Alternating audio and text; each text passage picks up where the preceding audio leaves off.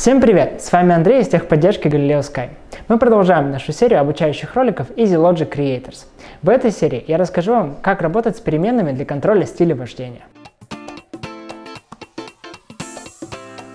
Рассмотрим три основных переменных, которые мы используем для контроля стиля вождения.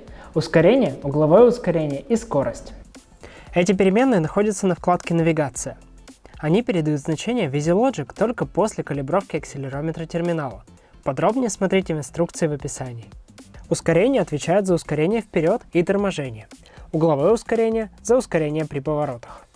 Все значения поступают в систему в миллиметрах на секунду в квадрате, или приблизительно в 1 десятой милли Допустимое значение ускорений вы задаете самостоятельно, в зависимости от размеров и массы транспортного средства, а также от установленных норм в компании. Чем больше значений, тем более резкие ускорения может совершать водитель. Мы в данном примере используем границу в 250 милли Добавляем условия с проверкой, больше ли значение переменной ускорения значения 2500. Торможение также берется из этого параметра, но значение должно быть отрицательным, так как это ускорение по той же оси в обратную сторону. Проверяем, не ниже ли ускорение значения минус 2500. Для проверки ускорения на повороте используем переменную угловое ускорение и сделаем границу равной 1500 в одну сторону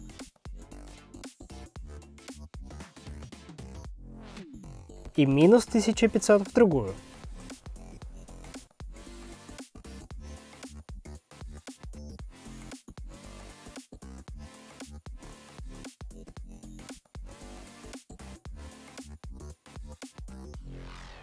Последним условием проверяем переменную, которую мы использовали в прошлых уроках.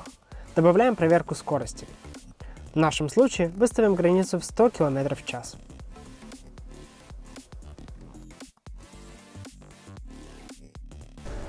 Таким простым каскадом условий мы настроили последовательную проверку разных параметров стиля вождения.